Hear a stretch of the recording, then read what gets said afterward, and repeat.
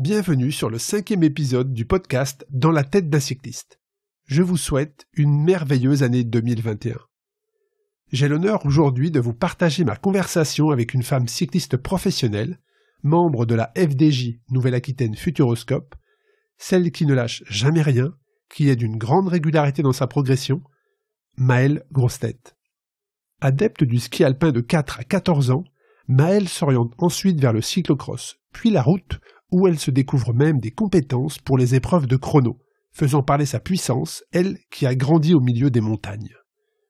Ses résultats, son sérieux, ses capacités physiologiques et sa détermination vont l'amener au fil des ans à gravir les échelons avec de beaux podiums et un titre de championne de France en contre-la-montre espoir, pour devenir un des piliers de l'équipe FDJ Nouvelle-Aquitaine Futuroscope.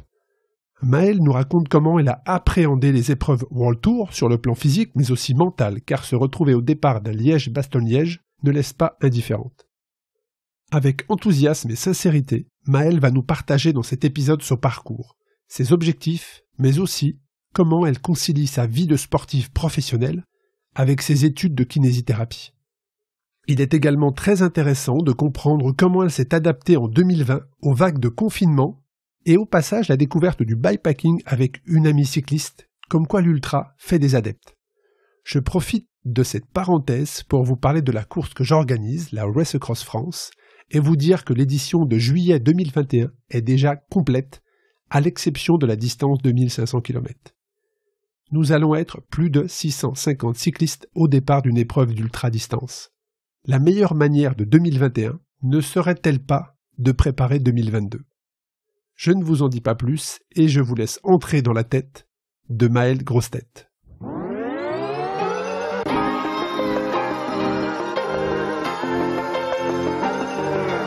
Bienvenue sur le podcast Dans la tête d'un cycliste, l'émission dédiée à tous les passionnés de vélo sous toutes ses formes. Chaque semaine, Arnaud Manzanini part à la rencontre de celles et ceux qui font le cyclisme pour nous inspirer et nous aider à nous améliorer. Bonjour Maël. Bonjour, bonjour Arnaud. Ben, je suis ravi de, t'accueillir sur le podcast Dans la tête euh, d'une cycliste ce soir, puisque tu es la première euh, coureur, coureur, coureur euh, féminine que je reçois sur le, podcast. Donc, ben, bienvenue, bienvenue à toi. Et, la première question que je vais te poser, Maëlle, c'est puisque tu sors tout juste d'un stage en Espagne, à Gérone précisément, ben, savoir comment s'est passé ce stage de préparation d'une saison 2021. Alors en effet, j'étais en stage personnel du côté de Gérone en Espagne. Euh, c'était pas vraiment prévu, mais en voyant les conditions météo euh, à la maison, du coup en Haute-Savoie, euh, donc de la neige, du froid, euh, donc c'est cool, on peut faire du ski, mais euh, quand on prépare une saison cycliste, bah c'est un peu compliqué. Du coup, j'ai décidé de partir à Gérone. c'est un endroit que j'aime beaucoup. C'est la, c'était la cinquième fois que j'y allais pour m'entraîner. Donc j'ai passé huit jours là-bas en stage coéquipière de l'équipe, étant donné qu'il y en a trois qui euh, y résident. Donc voilà, pas, pas de séance euh, seule, du beau temps, des beaux paysages et euh, en option les cafés et les restaurants qui sont actuellement ouverts en Espagne. Donc voilà, dans la période actuelle, boire un café après la sortie ou pendant la sortie, bah c'est un gros bonus et ça, ça fait très plaisir. Bah, ça fait du bien effectivement de, de boire un, café euh, sur une terrasse, bien évidemment, euh, puisque là-bas on a quand même des conditions climatiques qui sont sympathiques. J'ai eu l'occasion d'aller également passer une semaine de stage. Moi, c'était euh, juste avant le tout ce qui nous arrive, puisque c'était c'était fin février. Et c'est vrai que les conditions et les routes sont juste exceptionnelles. Et il y a d'ailleurs énormément de coureurs professionnels qui vivent qui vivent là-bas, tellement les conditions, toutes les conditions sont réunies pour avoir une bonne pour avoir une bonne préparation. Donc je te comprends parfaitement, mais c'est quelque chose que tu fais régulièrement, puisqu'effectivement tu habites en, Haute-Savoie. Donc aller faire des stages comme ça au soleil, c'est quelque chose que tu, que tu fais régulièrement dans une saison? Oui, tout à fait. Alors euh, essentiellement l'hiver, du coup, pour préparer la saison à venir. Euh, donc un stage au soleil euh, permet voilà tout d'abord d'avoir de bonnes conditions météo pour euh, dédier un cycle d'entraînement et aussi mentalement, euh, voilà, pendant euh, une semaine, dix jours, je pars de la maison et je suis vraiment concentrée pendant dix jours à ce stage. Donc, à réaliser de bons entraînements. Ça me change un petit peu du quotidien de voilà de changer de route, changer d'endroit, voir d'autres personnes, rouler avec d'autres cyclistes. Donc ça c'est quelque chose que qui me plaît beaucoup. Et comme tu l'as dit, Gérone, les routes c'est vraiment le top. Enfin, il y a du plat, du vallonné, des longues bosses. On peut faire du bord de mer, on peut rouler dans les terres, très peu de voitures. Super endroit pour le gravel également. Euh, voilà, là, j'avais pas de vélo de gravel, mais la prochaine fois, j'aimerais fortement m'en faire prêter un. Ça peut être vraiment chouette de faire une sortie euh, gravel euh, parce qu'il y a, il y a un choix d'itinéraire gravel. C'est un super spot, ouais. Ah, c'est un super spot pour le gravel là-bas. Je pense que vraiment en gravel là-bas, c'est génial.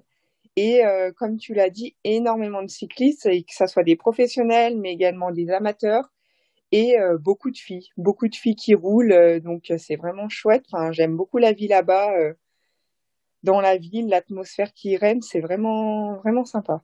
En tout cas, j'en garde un, bon souvenir et je me tarde d'y retourner, ça c'est clair. J'aimerais, Maëlle, qu'on revienne un petit peu, qu'on rebobine un petit peu ta carrière, ton parcours. Est-ce que tu peux nous partager tes premiers tours de roue Qu'est-ce qui t'a amené au cyclisme et qu'est-ce qui t'a plu dans cette discipline? Alors tout d'abord, il faut savoir que j'ai commencé avec 10 ans de ski alpin. Donc, euh, de l'âge de 4 ans à 14 ans, j'étais euh, sur les skis parce que je suis née à Salanches en Haute-Savoie, donc les montagnes sont vraiment euh, à deux pas de la maison. Donc voilà, ça a été le ski alpin en compétition, mon premier sport. Et ensuite, en préparation du coup estivale pour la saison de ski, on faisait du VTT avec le club. Et ça m'a plu. Il y avait un club de, une école de vélo à Passy. Du coup, voilà, ça m'a, ces entraînements m'ont plu. Je me suis donc euh, inscrite à l'école de vélo de Passy euh, sur route. Et euh, j'ai commencé par faire les premières compétitions en école de vélo, donc à l'âge de 12-13 ans. Et voilà, de fil en aiguille, ça m'a plu. voilà, j'ai vraiment aimé ce sport d'extérieur où, contrairement au ski, on ouvre la porte de la maison, on peut monter sur son vélo, quand on est jeune, euh, qu'on n'a pas de voiture, c'est plus facile, on n'a pas besoin des parents pour nous emmener à la station. Donc ça, c'était un des avantages. Euh, j'ai été dans un lycée avec des horaires aménagés qui m'ont permis de, de pouvoir euh, m'entraîner convenablement avec deux après-midi de libre par semaine. Et voilà, de fil en aiguille, régional, niveau national. Par la suite, j'ai intégré la division nationale de Saint-Julien-en-Genevois qui m'a fait passer euh, un cap en me permettant de courir euh, les Coupes de France. Donc voilà, découvrir le niveau national quand j'étais junior. Donc ça, c'est à l'âge de 17-18 ans. Et puis du coup, en courant au niveau national, j'ai pu me faire repérer par euh, la FDJ, aujourd'hui qui s'appelle FDJ Nouvelle-Aquitaine Futuroscope et qui est mon équipe professionnelle actuelle, et où j'attaque ma quatrième saison avec eux. Euh, donc je suis rentrée en Espoir 2 à 19 ans. Et euh, voilà, là j'attaque euh, quatrième saison avec l'équipe. On va rentrer un peu plus dans le détail de, ton, de ton beau parcours, mais est-ce qu'à un moment donné, tu as dû faire un choix entre le ski et le cyclisme, Maëlle? Oui, tout à fait. Alors, est-ce que ça s'est fait naturellement? Est-ce que ce choix s'est fait naturellement par tes, bah, tes aptitudes plus vers un sport que vers l'autre? Ou est-ce que tu as dû te, te poser à un moment donné et te dire, bon là, il faut que je fasse un choix? Vers quel sport je vais orienter, euh, orienter, on va dire, mes efforts pour, euh, pour un jour euh, en faire mon métier? Non, ça n'a pas été un choix facile, mais c'est vrai que je me suis penchée pour le vélo. question pratique, voilà, comme je l'ai dit, c'était plus facile de, partir faire une sortie de vélo que de, monter au ski ça demande toujours une organisation plus compliquée et une amplitude horaire beaucoup plus importante d'aller sur les skis. Et après, je me suis un petit peu rendu compte aussi euh, sur la mentalité, euh, le ski qui est très très élitiste. Si t'habites pas, euh, là je dis ça en rigolant, mais si t'habites pas Chamonix ou Megève autour de chez moi, en gros, tu peux pas faire vraiment de haut niveau. Donc voilà. Après, je me suis penchée sur le vélo sans regret. Je fais toujours du ski, beaucoup de ski pour le plaisir et en entraînement du ski de randonnée notamment. Mais voilà, euh, j'en garde un, excellent souvenir de ces dix années sur les skis. Bon, c'est vrai qu'à Salanches, en même temps, tu es un petit peu à mi-chemin entre les deux, hein, entre Megève et Chamonix. Et également, donc, tu nous expliquais ton parcours dans le, dans le cyclisme, mais de grosses performances en cyclocross. C'est comme ça, au début, les, les premiers résultats au niveau national sont arrivés? Oui, bien sûr. Donc ça, quand on est jeune et qu'on court en école de vélo, il y a le cyclocross qui fait partie des disciplines qu'on fait découvrir aux jeunes. Donc, chose que j'ai découverte, bah, ça se court l'hiver de septembre à, à février. Et vraiment une discipline que j'adore toujours actuellement. Euh, alors, où j'ai réussi à décrocher, comme tu l'as dit, mes premiers résultats sur le plan national avec mon premier titre de championne de France. Euh, et ouais, vraiment une discipline que j'adore, c'est ludique, c'est un effort euh, relativement court, maximum une heure euh, euh, pour les pour les élites femmes, 50 minutes exactement. Et euh, ouais, je pense vraiment que ça a un atout. Là, j'en fais plus parce que c'est un petit peu compliqué de tout tout gérer, mais j'aimerais fortement fortement y revenir. en tout cas, là, je m'éclate les dimanches à regarder la télé. Alors toi, qui es né au milieu des montagnes, euh, tu as également des, des compétences pour le chrono, très clairement. On aurait pu croire, tu vois, on pourrait se dire, bon, ma Maëlle, elle est née à Salanches, elle vit au milieu des montagnes, ça doit être une, euh, une très bonne grimpeuse, tu vois. Euh, et en fait, alors je dis pas que tu n'es pas une bonne grimpeuse, mais, euh, mais en tout cas, tu es hyper performante sur les chronos, puisque là aussi, il y a eu un titre de championne de France. Donc, euh, tu, tu penses que justement, ça vient aussi de, de ta pratique du ski, qui est quand même, qui développe quand même la puissance, euh, la puissance sur le physique au niveau de, au niveau de la force, au niveau des cuisses. Euh, comment tu as découvert ces compétences-là? C'est surprenant? Enfin, c'est surprenant. Oui et non, parce qu'après, euh, c'est pas parce que tu habites dans les montagnes que tu peux pas être une bonne rouleuse, mais, je veux dire, c'est tu passes du cyclocross où tu as des très très bons résultats, et puis ensuite sur route, en chrono notamment, tu as tout de suite senti que tu avais vraiment des compétences dans cette discipline-là alors c'est vrai que rapidement j'ai eu des bons résultats sur les comptes la montre. Euh, ça peut aussi peut-être venir du cyclocross, donc euh, qui était un effort 30 euh, à 40 minutes à fond. Donc pas tout seul certes, mais du moins on est à fond pendant 40 minutes. Et le chrono du coup bah, c'est le même exercice, c'est à fond pendant la durée du chrono, donc entre 20 minutes et 50 minutes. Où là par contre on est tout seul avec une oreillette et le coach dans la voiture derrière. Mais j'ai toujours euh, beaucoup apprécié les efforts solitaires où il euh, faut se concentrer sur son, propre effort, sa propre gestion des émotions, euh, aller se surpasser, vraiment rester dans sa bulle. c'est quelque chose qui me plaît beaucoup, qui demande beaucoup de travail en amont sur la préparation, la position. Enfin voilà, il y a plein de petits détails à travailler.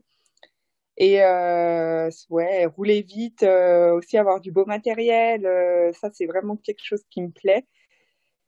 Ça donne, ça donne, ouais, ça donne envie quoi. De, on voit le vélo, la roue pleine, tout ça, on a juste envie d'aller le plus vite possible avec. Et puis, bah, c'est quelque chose que que j'axe la préparation dessus et j'aimerais encore bien progresser dans ce domaine. C'est vrai que quelquefois, enfin moi, à mon niveau, ça m'arrive souvent. C'est-à-dire quand je regarde mon vélo, je, je me dis que je, je serais peut-être pas bon, mais par contre, je serais beau. Tu vois C'est-à-dire. ça, ouais, c'est une phrase qu'on dit souvent. Euh, c'est important d'avoir la classe sur un vélo. Exactement. Et euh, j'aimerais que tu nous expliques également, Maël, euh, tu nous as expliqué en détail ton, parcours, euh, et puis un jour, le téléphone sonne et on te propose de rentrer dans, l'équipe de la, de la FDJ. Est-ce que tu te souviens de ce que ça a généré en toi? Alors mes premiers contacts avec la FDJ, on va dire que ça s'est vraiment révélé sur une manche de la Coupe de France que j'ai remportée alors que j'étais encore à Saint-Julien. J'étais euh, espoir première année et il y avait quelques filles de la FDJ qui couraient. Donc voilà, en gros, j'avais battu l'équipe à battre.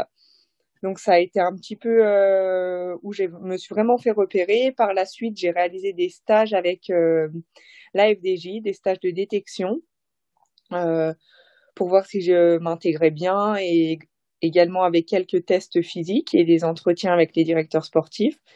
Euh, le feeling, il, a accroché des deux côtés. Et du coup, voilà, après, ils m'ont proposé un contrat et bah, c'est clair que j'ai directement sauté sur l'opportunité euh, moi, je suis pas quelqu'un où je me où je me suis née et j'ai dit je, je vais être euh, professionnelle. C'est vraiment venu petit à petit. Avant tout, euh, et ça allait toujours, euh, parce que je pense qu'on a besoin de ça pour avancer. Enfin, le vélo, le cyclisme, c'est une passion en général. J'adore m'entraîner. Et euh, bah aujourd'hui être capable de dire je vis de ma passion, je trouve ça chouette et j'espère juste c'est aller le plus loin possible. moi personnellement m'épanouir le plus loin possible dans ce domaine. C'est une très belle description, en tout cas, Maëlle, de ce que, de ce que tu dis. Mais ce que je veux dire, c'est que toi, quand tu as commencé à faire du vélo, ton objectif n'était pas d'être professionnel. Tu as juste fait du vélo pour te faire plaisir, pour progresser, euh, l'esprit de compétition bien évidemment. Et puis ensuite, quand la FDJ t'a contacté, tu ne t'es pas dit non plus, je veux aller sur l'échelon supérieur. Toutes les choses, d'après ce que tu décris, se sont faites de manière naturelle. Oui, voilà, exactement. Ça s'est fait de manière naturelle. Euh, après, forcément, quand, euh, quand la FDJ m'a contacté, on se prend au jeu et notre objectif est d'intégrer l'équipe et, et qu'il soit satisfait de nous, de progresser au sein de l'équipe. Voilà, mais euh, c'est quelque chose qui s'est fait naturellement et euh, j'espère continuer euh, sur cette lancée. Bah, en tout cas, moi qui, suis ton parcours, la progression, la progression est régulière, mais mais je, trouve qu'il y a, y a pas de, tu n'arrives pas de nulle part. Tu vois ce que je veux dire? C'est quand on suit ton parcours, on ne peut que se dire que il va se passer des belles choses dans les années à venir, en fait. Tu vois ce que je veux dire? Moi, c'est le sentiment que j'ai en suivant ton parcours. C'est que tu es toujours placé, tu es toujours là. Et on sent que dans les années à venir, euh, il y a quelque chose de grand qui va se passer pour toi. En tout cas, moi, c'est mon sentiment quand je vois ton parcours et que je suis tes résultats. Et, euh, et, euh, et donc là, tu nous expliques, tu rentres dans l'équipe de la puis ensuite, il y a encore une marche supplémentaire qui est d'être au départ de, de monuments euh, du, World Tour. Donc là, c'est pareil, même si tu, tu dégages une image d'une personne qui est quand même euh, plutôt, euh, plutôt calme, euh, raisonnée, est-ce que tu te laisses parfois emporter par bah, les émotions quand tu es au départ d'une épreuve comme celle-ci? Alors, il, se passe Quoi, il, se passe quoi dans la tête d'une cycliste quand elle est au départ de Grand Game, quand elle est au départ du Tour des Flandres? Alors tout d'abord, je tiens à dire que l'équipe sur ma première année avec eux, ils m'ont laissé le temps, ils m'ont pas envoyé à droite, à gauche réaliser toutes les World Tours. Donc ça, c'est quelque chose d'important pour avoir une progression linéaire. Parce qu'il faut pas oublier qu'on sort de courses qui font 90 à 120 km au niveau national. Après, à des courses qui font 150, 160 niveau international avec les meilleurs coureurs mondiaux. Donc là-dessus, ça, il y a eu une progression assez logique. Et après, c'est clair que les premiers monuments, euh, moi, celui qui m'a fait le plus rêver et qui me fait toujours le plus rêver, c'est euh, le Tour des Flandres. Euh, ne serait-ce qu'à la présentation d'équipe, bah ouais, j'avais des frissons. sur la ligne de départ, on est excité. alors là, c'est pareil, on apprend toujours, mais parfois à tort de trop d'excitation, bah c'est pas bon. Faut pas se laisser manger par les émotions. prise... Ouais, c'est la prise d'expérience, effectivement. Donc euh, ouais, voilà, ça, ça fait partie de l'apprentissage et euh, là, je commence à avoir un bagage bien fourni, euh, donc pour ne plus réaliser ces erreurs ou du moins s'en servir sur les prochaines courses. Mais je pense qu'à chaque monument, quand on est au départ et qu'on est dans un mont avec le public, mais vraiment un public, je pense qu'on l'a pas vécu, c'est difficile de s'en rendre compte. C'est juste exceptionnel. Enfin, le mur de Gramont, le vieux Quarmont, tous ces monts-là, l'ambiance elle est vraiment euh, vraiment énorme. Et c'est aussi pour ça que je fais du vélo. Enfin c'est ça donne des frissons. Ça on veut se surpasser mais on, on les entend pas vraiment les gens. Enfin en fait on est concentré dans notre course. On est à bloc c'est super dur mais euh, ça nous pousse vers le haut. Enfin c'est juste euh, c'est super cool et comment se sont passées ces épreuves pour toi cette année? Alors cette année, les classiques, euh, du coup, elles étaient au mois d'octobre.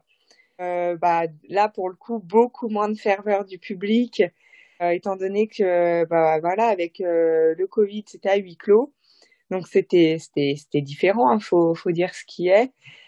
Et bah voilà, comme ça fait partie des classiques, j'ai eu un peu de malchance avec crevaison et chute, mais mais j'ai déjà, en fait, j'ai juste hâte euh, que la saison 2021 euh, se déroule euh, du mieux possible et hum, d'être sur ces, toutes ces classiques et avec vraiment celle où que je rêve vraiment d'être, c'est bah, Paris-Roubaix qui sera le premier au mois d'avril. Que tu avais repéré d'ailleurs, je crois. Je crois que tu avais repéré hein, certaines parties du parcours cette année. Oui, la totalité du parcours. On avait fait un stage avec l'équipe au mois d'août en vue de l'édition qui était programmée au mois d'octobre. Euh, qui finalement qui a été annulée, mais du coup on a repéré bon dans des très bonnes conditions euh, ensoleillées, pavés secs. Du coup, il faudra réaliser des nouvelles reconnaissances parce qu'au mois d'avril c'est plutôt euh, pavé humide, je pense. Enfin voilà, donc euh, faudra faudra retester, mais on a fait trois jours sur les pavés et ouais, c'est du sport. Certainement. Très certainement. Tu, nous parles, c'est vrai que la saison cette année était concentrée sur, sur deux mois. Euh, au lieu justement d'une saison, parce que des classiques, euh, des classiques au mois d'octobre, ça reste un caractère, euh, on l'espère, exceptionnel pour la, la suite de la saison. Et, et quand on est justement coureur professionnel, que l'on s'entraîne pour justement participer aux épreuves dont on vient de parler, et qu'elles sont annulées, voire décalées, l'année qu'on a vécue, quel impact ça a eu sur ta, ta préparation et ton entraînement ah bah c'est vrai que ça n'a pas été facile. Enfin, je me souviens du premier confinement, du coup, au mois de mars, où j'étais actuellement à Gérone en stage. Euh, et puis voilà, les annulations qui tombent et au final, euh, le confinement. Donc, euh, c'est clair que la première semaine, bah, c'était pas facile. Enfin, on commence à cogiter.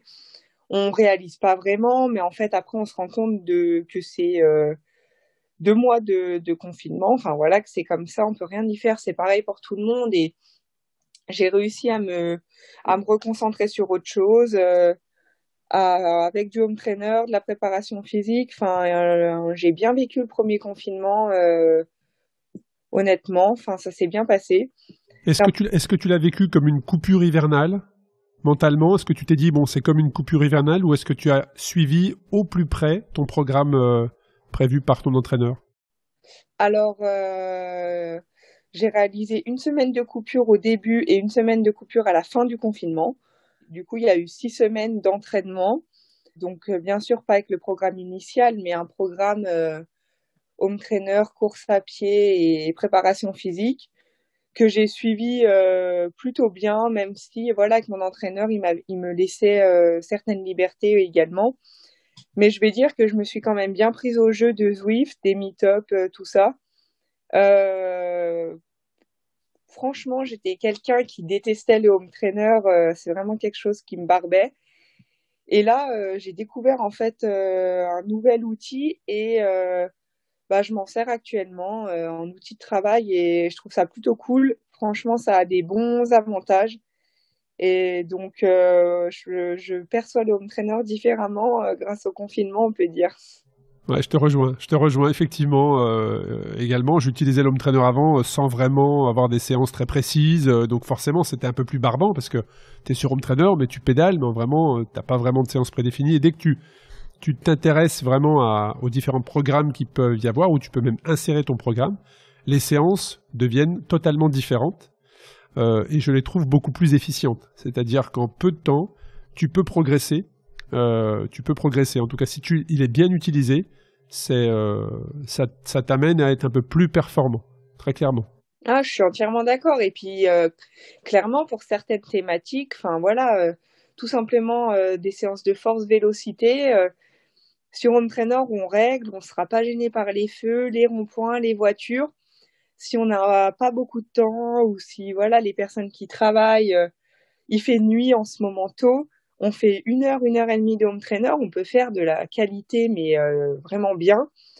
Comme tu l'as dit, s'il est bien utilisé, euh, c'est vraiment un super outil. Ils sont en train de révolutionner effectivement les saisons, euh, les saisons d'hiver et la préparation.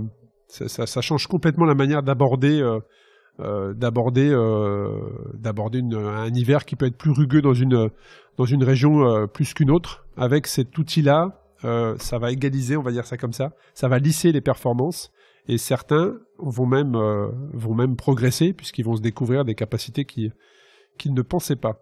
Euh, justement, on parle de data, Maël, est-ce que tu vois, tu es, tu es proche des data, c'est-à-dire qu'est-ce que tu fais partie des, des, athlètes, des sportifs qui, dès une sortie d'entraînement ou une compétition, regardent tout de suite leurs leur données ou est-ce que tu laisses ça à ton entraîneur qui lui va te faire un résumé? Euh, non, j'essaye de trouver le bon compromis. C'est vrai qu'après chaque sortie et euh, les compètes, euh, je regarde le compte rendu de la séance du coup, qui est directement envoyé sur Training Peaks. En, en long, en large, je regarde. Quand j'ai une séance d'exercice à l'entraînement, j'aime bien voir si j'ai si j'ai réalisé dans les bonnes zones, enfin voir les petites performances que j'ai faites, parce que voilà, ça fait aussi partie de des micro-objectifs qu'on peut se donner au sein d'un entraînement. Euh, donc euh, j'aime bien j'aime bien regarder. Mais par contre à l'inverse euh, sur les sorties plus endurance, surtout en groupe, voilà je suis pas je suis pas à regarder toutes les minutes le compteur, mais plutôt je pars du principe que tant qu'on peut discuter, c'est que ça va. Donc voilà, j'essaye de trouver le bon compromis, mais mais c'est vrai que ça, pareil, c'est un outil euh, qui est, ça fait 4-5 ans vraiment que c'est sur le marché et que c'est vraiment maintenant, on parle quasiment plus que de watts. Mais euh, je fais attention de ne pas tomber justement dans l'excès euh, parce que ça reste des chiffres. Et je pense que sur un grand jour, on peut dépasser les valeurs théoriques de ces chiffres. Ou à l'inverse, une journée où on n'est pas bien, si on part sur les données théoriques, et ben on peut se retrouver vraiment euh, dans le dur à la fin, pas pouvoir finir. Donc c'est hyper important d'écouter les sensations parce que c'est avant tout un sport en fait où c'est il faut connaître son corps à 200%.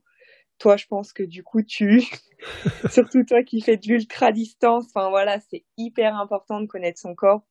Et euh, c'est un bon outil, mais pareil, ça doit être bien utilisé et euh, c'est avant tout le rôle de l'entraîneur de déchiffrer tout, tout ce qu'il y a à déchiffrer justement. Mais euh, ouais, j'aime bien parfois laisser place au feeling et en course par contre, je le regarde pas du tout. Ouais, c'est en fait c'est ce que je voulais dire en fait. C'est là où je te rejoins, c'est que je pense que les datas sont très intéressantes quand elles sont bien utilisées en phase de préparation. Où là tu peux euh, tu peux taper, tu peux taper dedans, tu peux te faire mal, tu peux aller chercher plus de watts ou plus de dans la durée.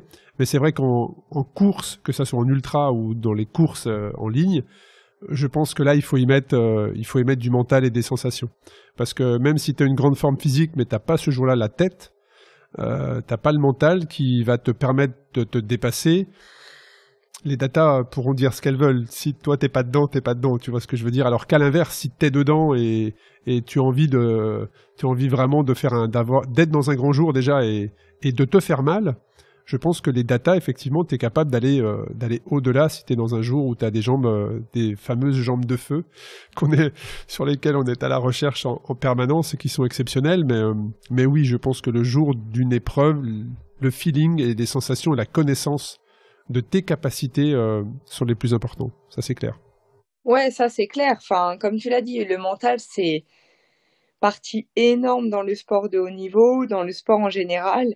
Surtout quand vous êtes dans les intensités dans lesquelles vous, sportif professionnel, vous allez. C'est-à-dire que vous allez dans des intensités où déjà si mentalement tu n'es pas prêt à, à engager ton corps dans cette intensité, ça va déjà être compliqué. Alors que si mentalement tu, tu sais que ça va être douloureux, mais tu sais pourquoi tu le fais, tu, mentalement tu es prêt à aller dans cette intensité-là qui est, je pense que quand tu n'es pas coureur professionnel, tu peux difficilement même le comprendre et le décrire. Euh, si tu n'as pas le mental qui est prêt, déjà, euh, bon, bah, tu n'iras pas très loin. Non, ouais, c'est clair. Il faut être prêt et, comme tu dis, c'est vraiment des, efforts intenses qui font mal. C'est le pourquoi on le travaille à l'entraînement, même si un entraînement, ça remplace pas la course et qu'une course est toujours plus dure. Mais euh, voilà, on le travaille à l'entraînement, d'aller dans cette zone, de se, de challenger, de sortir de la zone de confort, c'est hyper important parce qu'en course, on sort de notre zone de confort bah, hyper souvent parce que voilà, une course, c'est pas un entraînement, on n'est pas tout seul. Euh, faut faire avec les autres et c'est la beauté du sport en fait, euh, de ce sport où euh, on ne sait pas ce que les autres vont faire. Il y a des, rebonds. Il faut s'adapter rapidement à des situations. Enfin voilà, c'est. Et, surtout quand on est sur le World Tour, comme toi, tu peux, tu peux l'être avec les meilleurs, euh, avec les meilleurs euh, mondiales, très clairement. Ouais, ouais, c'est clair, c'est clair. On, parle de vélo, Maël, d'entraînement sur le vélo, mais euh, on a une connaissance en commun qui m'a qui m'a récemment dit, tu verras, Maël, elle a une préparation physique générale à côté du vélo qui est juste incroyable. C'est un monstre physiquement. C'est Johan Stuck que tu connais. Johan Stuck m'a fait des éloges sur ta préparation euh, physique euh, à côté du vélo. Il a été impressionné. donc si tu peux nous partager cette préparation que tu as parallèlement aux heures de sel. Ah bah ça c'est gentil venant de lui. Donc Johan, ouais, je l'ai, je l'ai connu virtuellement, on va dire, pendant le premier confinement en effet. Et euh, donc c'est vrai que j'ai, euh, je consacre beaucoup de temps à la préparation physique générale. Donc euh, ça passe par une reprise après la période de coupure multisport, qui est encore aujourd'hui, hein, notamment avec du ski de rando comme je l'ai dit, et une grosse base sur du renforcement musculaire sans poids, donc gainage, abdos, enfin des circuits training, et également deux séances de musculation avec poids par semaine. Ça, c'est euh, l'idée euh, de base. Euh, parfois, c'est difficile de s'y tenir avec les stages, mais voilà, c'est l'idée de deux semaines, deux séances, pardon, de muscu par semaine dès la reprise et après en saison de garder un rappel de musculation par semaine. voilà, moi le but en musculation, c'est de rechercher la force pure, le travail de la force pure, mais également un gros travail d'explosivité, euh, du coup, qui est, je travaille en parallèle de la force. Mais voilà, un gros travail d'explosivité et également une partie proprioception euh, qui est importante. Et, tu le travailles, Maëlle, avec euh, le poids du corps ou vraiment sur des squats, des choses comme ça? Il y a des deux. je fais mes exercices avec des charges, c'est principalement des squats, euh, des squats bulgares et du soulevé de terre euh, du coup pour euh, le pour le bas du dos et la chaîne postérieure qui est importante en cyclisme. Et après le reste c'est plutôt au poids du corps avec des jumps, des sprints, voilà plus du travail explosif. mais voilà je concilie les deux ensemble. soit c'est quelque chose qui me plaît. Je fais pas des séances très longues, environ une heure mais euh, ouais, on, ça travaille bien et le lendemain, on a mal aux jambes, on a des courbatures. Donc voilà. On a parlé tout à l'heure rapidement euh, d'ultra. Hein. je pense que tu connais un petit peu mon, parcours. Je suis également organisateur d'une épreuve qui s'appelle la Race Cross France, qui connaît une véritable explosion sur le nombre des inscrits cette année, où on va être quasiment 650. Et, euh, et j'ai vu dans ton actualité, dans tes, dans tes fils d'actualité, euh, euh, puisque je, vais voir régulièrement les athlètes français, que tu t'étais initié cet été à de la longue distance avec des, des sacoches sur les, sur les vélos. Est-ce que tu peux nous parler de ce, de ce défi que tu as fait avec Juliette? Et, qu'est-ce que ça t'a apporté? Comment tu l'as vécu? Ouais, c'est vrai. Alors de la longue distance par rapport à ce que tu fais, euh, oui et non. Mais euh, l'idée principale, c'était surtout après le premier confinement, voilà, de prendre l'air, de pas vraiment avoir de contrainte, de partir avec son vélo et les sacoches euh, et euh, d'être dans la nature, voilà, vraiment libre. donc ça, c'était l'idée de base. Après, investir dans des sacoches parce que c'est une discipline que voilà qui m'intéresse. je souhaite en refaire. c'est vraiment quelque chose qui me plaît de me dire je pars, je suis libre, je check mes sacoches, je m'arrête quand je veux. ça voilà, permet de découvrir du paysage, euh, de repousser ses limites. Après, voilà, avec le la carrière cycliste professionnelle, euh, c'est pas toujours en phase. Faut essayer de trouver les bons moments pour euh, pour faire ce genre de d'aventure. Mais ouais, je pense que que, enfin, que c'est possible dans la préparation d'intégrer un petit peu de backpacking. je pense que mentalement, ça fait un grand bien. ça te fait travailler l'endurance, mais également un petit peu la force, parce que c'est vrai que faire du vélo avec les sacoches, bah, c'est plus lourd. Du coup, euh, il y a un bon travail de force, mais euh, c'est vraiment quelque chose qui m'a plu euh, et j'espère récidiver assez rapidement. Là, d'ailleurs, l'équipe nous a équipés en, en sacoche Zéphane, un des partenaires, donc on a la chance d'avoir pu choisir ce qu'on voulait parmi toute leur gamme donc là, je, juste ce week-end, j'ai reçu des nouvelles sacoches de bikepacking Zéphane. Donc pourquoi pas les inaugurer bientôt, mais c'est super chouette. C'est super cool en tout cas de voir que le monde professionnel, euh, alors je dis pas s'intéresse à cette discipline, mais en tout cas regarde cette discipline, la pratique. Il y a également Jérôme Cousin, hein, qui est un cycliste professionnel euh, chez, euh, chez Total, qui également lui communique beaucoup sur, sur cela. On a eu sur la Race Cross France de d'anciens coureurs professionnels qui viennent sur la longue distance et je te rejoins, c'est c'est difficile quand tu es coureur professionnel de pratiquer, euh, enfin d'être et concentré sur ta saison et de faire de l'ultra. Euh, je dis pas que ça va pas ensemble, mais tu peux pas non plus euh, te concentrer sur le sur les deux, ces deux axes euh, différents. Mais en tout cas, on voit que le monde professionnel commence à, regarder un petit peu ce qui se passe, à pratiquer. Donc c'est c'est vraiment intéressant. Et puis un jour, si tu veux si tu veux découvrir la Race Cross France, mais écoute, ça sera un véritable plaisir de t'accueillir de t'accueillir au départ, sachant qu'il y a quasiment cette année plus de 20% de filles au départ, toutes distances confondues. Donc ça aussi, c'est euh, un vrai message pour moi, qui suis presque un vrai féministe. Hein. Je prône beaucoup le, cyclisme euh, féminin, donc euh, ça sera avec grand plaisir si un jour on t'accueille, sur la ligne de, départ. On va revenir un petit peu, ça c'était la, parenthèse ultra, Maëlle, sur ta saison 2021. On part du principe que alors je sais pas si c'est dans, je suis dans le déni, mais on part du principe que tout va revenir à la normale. Est-ce que ta saison 2021 est déjà euh, calée? Est-ce que tes objectifs sont déjà fixés? Alors plus ou moins, euh, le programme n'est pas tout à fait défini. Il y a encore pas mal de modifications de calendrier, donc du coup un petit peu de flou là-dessus. Mais c'est vrai que j'aurai beaucoup d'attentes sur la période des classiques avec euh, notamment euh, le Paris-Roubaix euh, le 11 avril. Ça qui sera vraiment le premier objectif. Tu l'as déjà coché? Ouais, ouais, ouais, complètement. ça, je peux pas le cacher. C'est clairement, clairement le premier objectif de la saison. le lendemain de mon anniversaire, pour la petite anecdote. Et donc, comme toi, j'espère que les courses se dérouleront on va suivre au jour le jour, mais voilà, faut être optimiste. Donc ça, il y aura vraiment un gros accent là-dessus où euh, voilà, vraiment accompagner. Euh, on a des leaders qui peuvent euh, gagner les monuments, donc faire partie, une grosse partie du travail et être vraiment impliqué dans l'équipe pour bah, justement aller chercher cette victoire qu'on attend sur un monument. Et puis ouais, après le Paris-Roubaix, première édition pour les filles, euh, ça va être quelque chose.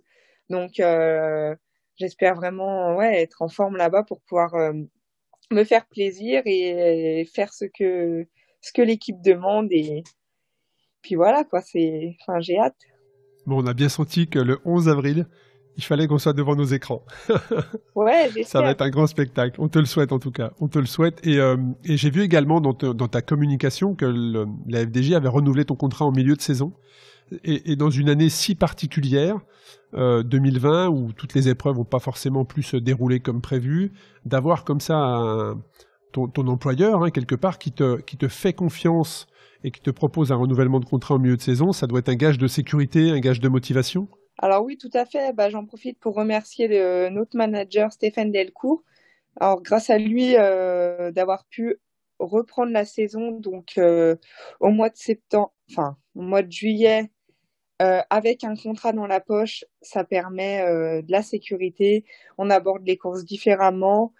donc voilà, je le remercie pour sa confiance et c'est c'est ouais non c'est clair que être au départ d'une course avec un contrat et eh ben c'est de la sérénité et on peut se concentrer sur d'autres choses. Donc ça c'était c'était vraiment cool dans cette année particulière. Tu nous as parlé de, des objectifs donc 2021 notamment les classiques et notamment euh, cette très très belle ce, beau monument qui est Paris Roubaix on parle de renouvellement de contrat. Est-ce que Maëlle euh, a en tête le Tour de France féminin? Bah bien sûr. Donc euh, pour 2022 si tout va bien, euh, le Tour de France féminin revient. Euh, hyper souvent, encore euh, bah, aujourd'hui en date, quelqu'un qui demande est-ce que le Tour de France féminin existe, est-ce que tu le fais? Alors c'est clair que pour le cyclisme féminin, c'est une étape énorme qu'on ait un Tour de France qui revienne. Et forcément, en étant française, on peut que que vouloir participer à cette grande course euh, qui est une des plus populaires. Donc, euh, pareil, ça, en une étape de plus dans le cyclisme féminin et j'espère vraiment que ça se réalisera euh, en 2022. Ben, on, le souhaite. Hein. Je, crois, je crois même que ça aurait dû avoir lieu si tout ce qui est arrivé n'était pas arrivé. Il aurait dû avoir lieu dès 2021, je crois, c'est ça? Oui. Ah, il a été décalé d'un an. C'est en, en, relation, il me semble. Ouais, il me semble que c'est ça. En tout cas, c'est c'est revenir à la normale, hein, je pense. Moi, je, me souviens de par mon âge avoir vu le Tour de France féminin et je, trouvais ça euh, extraordinaire en fait. Je trouvais ça extraordinaire donc je me, réjouis de, de voir l'arrivée à nouveau d'un Tour de France féminin. Je suis très proche également d'une personne qui a lancé une marque de vêtements vélo que pour les femmes qui s'appelle Wilma et euh, W-I-L-M-A qui est actuellement en, crowdfunding justement puisqu'elle lance cette, euh, cette marque. Donc euh, n'hésitez pas à aller la soutenir sur KissKissBankBank. Voilà, Wilma, c'est des vêtements que pour les femmes et c'est hyper stylé. J'en profite pour lui faire un, clin d'œil. Donc, euh, donc ça c'est ça c'est fait. Euh, tu as peut-être d'ailleurs Maëlle un, message à faire passer sur le cyclisme féminin. Comment toi tu vois cette évolution dans la génération dans laquelle tu fais partie? Euh, alors comment je vois? Bah c'est assez simple. Hein. Depuis que je suis arrivée à la FDJ, les progrès ils sont énormes. si on parle de la FDJ, l'équipe elle fait que grandir donc là je sors d'un stage avec euh, avec l'équipe où notamment notre nouveau service course a été inauguré donc avec un showroom euh, à l'entrée euh, il y aura une salle réservée à Zwift notamment ouais un espace de travail énorme je trouve même que l'équipe féminine s'est internationalisée bien sûr bien sûr ça c'est un des axes de l'équipe où du coup en 2021 euh, nous serons euh, 7 françaises et 6 étrangères, donc quasiment 50-50. Et euh, je pense que c'est une bonne chose parce que les étrangères, euh, elles amènent euh, toute leur expérience, une mentalité différente. Donc ça fait grandir tout le monde, coureurs et staff. Ça c'est vraiment quelque chose qui me plaît également dans le vélo, ce côté multinationalité, découvrir des personnes, des relations humaines il euh, y, a, y a des belles choses et on construit, ouais, on construit des belles choses, euh, voilà. Alors, on parle de vélo, on parle de construire des belles choses. C'est une parfaite transition puisque les, les gens qui, qui, nous écoutent n'ont pas l'image. Moi, j'ai l'image et je te vois avec un beau hoodie marqué kinésithérapeute. Donc, je sais qu'il y a, tu, tu, euh, tu fais des études dans, dans ce domaine-là, c'est bien ça? Oui, tout à fait. C'est, c'est, ça veut dire que tu prends le temps également de construire ta future carrière professionnelle? Oui, entièrement. Alors voilà, comme je l'ai dit euh, au début de ce podcast, euh, quand j'étais jeune, je me suis jamais dit euh, à tout prix je souhaite être professionnelle. mais j'ai, par contre, à l'inverse, toujours souhaité travailler dans le médical. Quand j'étais petite, je disais toujours je veux sauver les gens. donc là, je suis en étude de kiné. je dis pas qu'on sauve les gens, pas du tout, mais qu'on les accompagne dans une rééducation pour aller le mieux possible. Et euh, du coup, je suis en école de kiné sur Grenoble où euh, je bénéficie d'un aménagement en faisant une année en deux ans. Donc ça prend du temps, mais ça avance doucement et ça me permet surtout de concilier ce double projet. Et euh, c'est super chouette. Euh, ouais, je m'épanouis dans ces études. Les stages que je réalise en structure kiné bah, j'adore, c'est vraiment cool et il y a de nombreux liens avec le sport. Donc, euh, je pense que j'ai trouvé mon bon équilibre et c'est quelque chose d'important pour moi d'avoir ces, ces études. Euh, voilà, pour, pour la tête, euh, du vélo, des études, ça, ça ouvre le cercle social et c'est quelque chose qui est important. Et, et, ça veut dire que en période de coupure, euh, tes cours sont concentrés à cette période ou c'est vraiment euh, une organisation euh, équilibrée tout au long de l'année? Non, c'est Ou est-ce qu'il y a plus des focus Non, équilibré tout au long de l'année. En gros, j'ai 50% de l'emploi du temps sur toute l'année. Ce qui est pas énorme. Enfin voilà, j'ai largement le temps de m'entraîner, tout ça. Même si en réalité, je vais très peu en présence à l'école en raison des compétitions et des stages mais euh, je rattrape les cours. Euh, j'ai aussi la possibilité de décaler les examens. Et par contre, euh, pour rejoindre ce que tu disais, chaque hiver, à chaque coupure, je réalise un stage en structure kiné, qui est un stage d'un mois et demi à temps plein, donc qui est pratiquement impossible à faire en saison.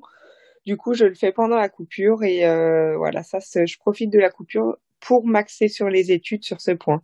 Donc ça veut dire une grosse organisation, une grosse motivation et détermination aussi, parce que j'imagine qu'il y a plusieurs fenêtres qui s'ouvrent dans l'année pour te t'écarter de, ce, droit chemin, très clairement. Ouais, ouais, bien sûr, je te rejoins à 200%. Après, euh, Euh, c'est pas toujours, euh, c'est pas toujours euh, facile, ça c'est clair.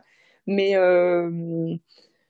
mais voilà, peut-être que parfois il y a des tout petits sacrifices qui se font pour être un petit peu plus sur l'école ou en période des examens, mais c'est relativement court et puis voilà, enfin, je pars du principe c'est quelque chose qui me plaît, la, kiné, les relations humaines, au corps qu'il y a dans ce métier, avec de nombreux liens avec le sport.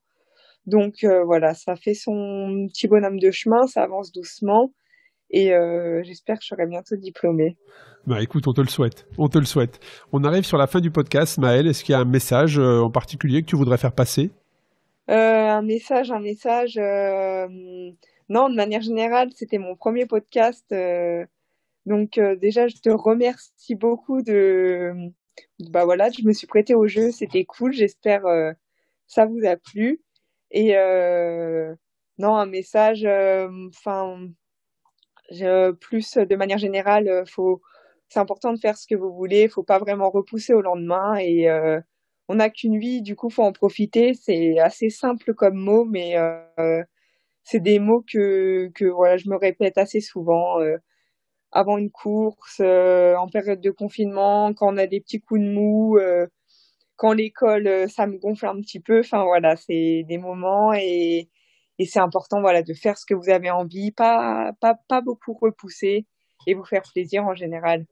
Bon, merci beaucoup, Mel. En tout cas, on ressent une grande maturité en toi et c'est très très agréable d'avoir euh, d'avoir partagé cet épisode avec toi. Merci à toi surtout du temps que tu nous as que tu nous as consacré pour nous raconter ton parcours, tes projets. Et forcément, forcément, on va suivre la saison 2021 maintenant différemment en suivant Maël, euh, surtout sur Paris-Roubaix. Le rendez-vous est pris. ça marche. Bah, je te remercie beaucoup, Arnaud. Merci beaucoup, Maël. Bonne euh, et puis bah, au moment où on enregistre, hein, on est en période de fête, même si l'épisode va être diffusé juste après les fêtes. Je te souhaite euh, bah, de bonnes fêtes de fin d'année et puis tout le meilleur pour 2021. Bah oui, pareillement. Et du coup, quand sera diffusé le podcast, ça sera le moment de dire bonne année. Donc, bonne année à tous ceux qui écoutent et puis prenez une bonne résolution pour vous, vous y tenir. Merci.